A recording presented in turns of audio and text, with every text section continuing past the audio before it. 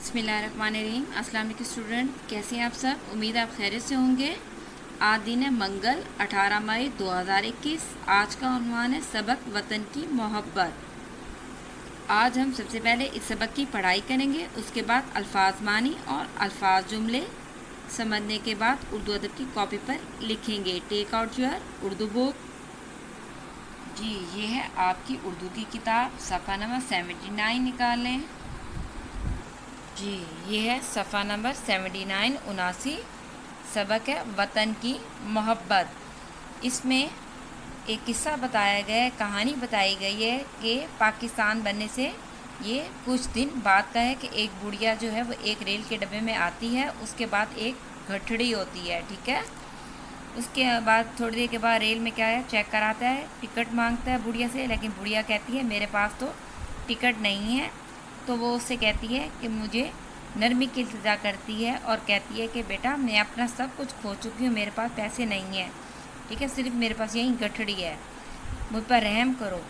तो वो जो चेकर होता है, वो अपनी कॉपी से रसीद काट देता है और बुढ़िया को जवाब देता है कि, अम्मा, मुझे पता है कि तुम्हारे पास कुछ नहीं है, लेकिन टिकट के बगैर सफ़र करने से पाकिस्तान को नुकसान होगा, इसलिए टिकट तो बनेगी, मगर मैं इसकी रकम से अपनी मगर मैं इसकी रकम मैं अपनी जेब से दूँगा।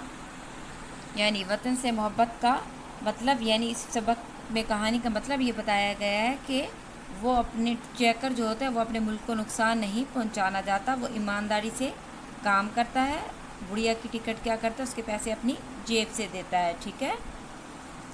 ये देखिए, सबसे पहले इसके जो ख़ास अल्फाज हैं, वो हम दोहराते हैं। ख़ास अल्फाज में चेक कर चाहिए चेक काफरे कर। चेकर चेकर उसको कहती हैं, जो टिकट चेक करता है, ये देखें, ये चेकर है। जब आप, अगर आपने रेल में सफ़र किया होगा तो उसमें चेकर आता है जो टिकट चेक करता है, ठीक है? उसके बाद देखें, इल्तजा अलिफ्लाम इल, ते, जीम अलिफजा इल्तजा इल्तजा का मतलब है दरख्वास्त करना, ठीक है? उसके बाद देखिए मजलूम मीमजो मस लामलू मीम मजलूम। उसके बाद है गठड़ी गाफठे गठ ठे रे छोटियरी, गठरी, क्या है? गाफटे गठ, ठीक है? हे रे छोटियरी, गठरी, ये देखिए ये गठड़ी है ठीक उसके बाद देखिए बुढ़िया, बेपेड़े, बुढ़, हे, ये अलिविया बुढ़िया बुढ़िया किसको कहते हैं? बूढ़ी औरत को ये बुढ़िया है। रहम, रेह, रह, मीम, साकिन, रहम, नुकसान, नून, काफ, नुक स्वादरिफ्सा नून, साकिन, नुकसान।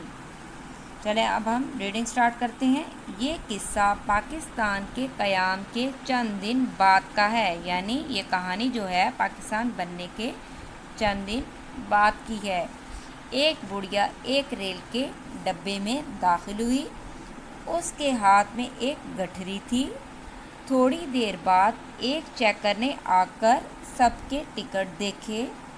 बुढ़िया के पास टिकट नहीं था। जब चैकर ने उससे टिकट मांगा मीमलिफ माँ नून गाफलिफगा मांगा तो बुढ़िया ने चैकर से नरमी की इल्तजा की और कहा, नरमी की इल्तजा का मतलब यानी उसने कहा कि मुझसे टिकट ना लो आप, ठीक है, मुझे ऐसे ही सफ़र करने दो। बेटा, मैं अपना सब कुछ खो चुकी हूँ, मेरे पास पैसे नहीं हैं, सिर्फ़ ये गठरी है, ठीक है?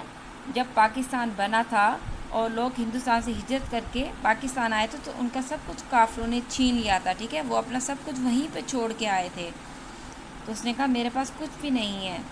मुझ पर रहम करो, टिकट मत काटो। ठीक है? उसने कहा, मैं बूढ़ी हो रहा तो मेरे पास कुछ नहीं है तो आप मुझसे टिकट मत लें। चेकर ने फिर भी अपनी कॉपी से रसीद काट दी। रे सीनियर सी, दासाकिन रसीद। ठीक है? जब टिकट देती हैं तो वो क्या होती है? रसीद होती है ना, ये देखिए इसके हाथ के अंदर है, ठीक है? जिसके बाद लिखा होता है कि कितने का टिकट है, ठीक? उसने बुढ़िया को जवाब दिया, अम्मा, मैं जानता हूँ कि तुम मज़लूम हो। यानी वो कहता है कि, अम्मा, मुझे पता है कि आप जो बता रही हैं, आप बिल्कुल ठीक हैं, ठीक है? आप पर जुल्म हुआ है। लेकिन टिकट के बगैर सफ़र करने से पाकिस्तान को नुकसान होगा। यानी अगर हम अपने पाकि, अगर ऐसे ही सफ़र करेंगे, पैसे नहीं देंगे तो क्या होगा? पाकिस्तान को नुकसान होगा ना? इसलिए टिकट तो बनेगी, मगर इसकी रकम, रेखा फ़र्क कामिम कम रकम, मैं अपनी जेब से दूँगा। यानी टिकट के पैसे मैं ख़ुद दूँगा। आपने इस सबक की घर में पढ़ाई करनी है? टेक आउट योर उर्दू अदब कॉपी जी आदिन क्या है? मंगल मीम नुमान गाफलम कल, मंगल, कोमा, अठारह मई मीम हमजा छुट्टी मई, कोमा, दो हज़ार इक्कीस फुल स्टॉप उनवान है, वतन की मोहब्बत, ठीक है? इसको आपने अंडरलाइन करना है। उसके बाद एक लाइन छोड़ के आपने लिखना है सवाल, मंदरजा झैल अल्फाज के मानी लिखें, यानी नीचे जो अल्फाज दिए गए हैं, उनके मानी लिखें। इस तरह आपने पाँच अल्फाज मानी की लाइन ड्रॉ करनी है, ठीक?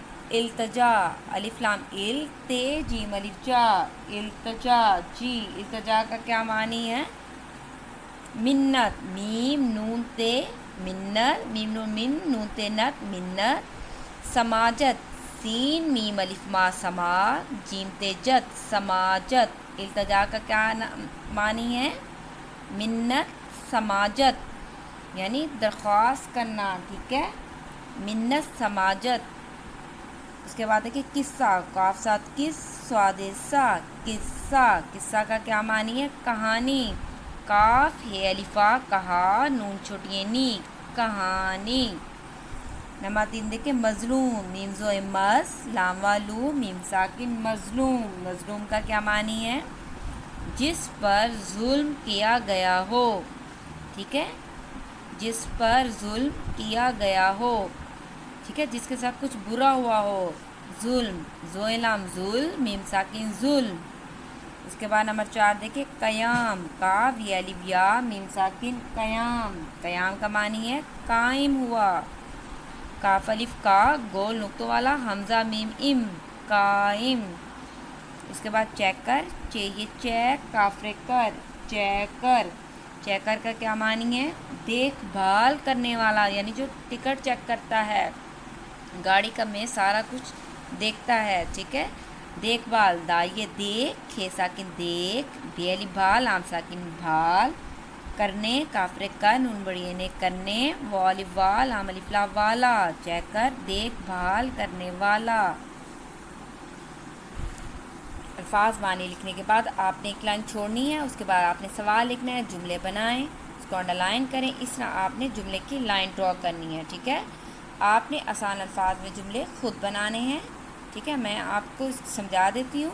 उसके बाद आपने ख़ुद बनाने हैं। किस्सा काफसात किस स्वादिसा किस्सा। जैसा कि अभी मैंने आपको बताया, किस्सा का है, कहानी, ठीक है? आप किसी का ये भी बना सकते हैं। मैंने भाई को एक किस्सा सुनाया, या अम्मी ने मुझे एक किस्सा सुनाया, ठीक है? ये किस्सा क्या में पाकिस्तान के चंद दिन बाद का है, जो आपको आसान लगे। नंबर दो, बुढ़िया। कि बुढ़िया के पास रेल का टिकट नहीं था। बुढ़िया ने चैकर से नरमी की, इल्तजा की या बुढ़िया के पास टिकट के पैसे नहीं थे। नंबर तीन, रेल। मैंने रेल का टिकट ख़रीदा।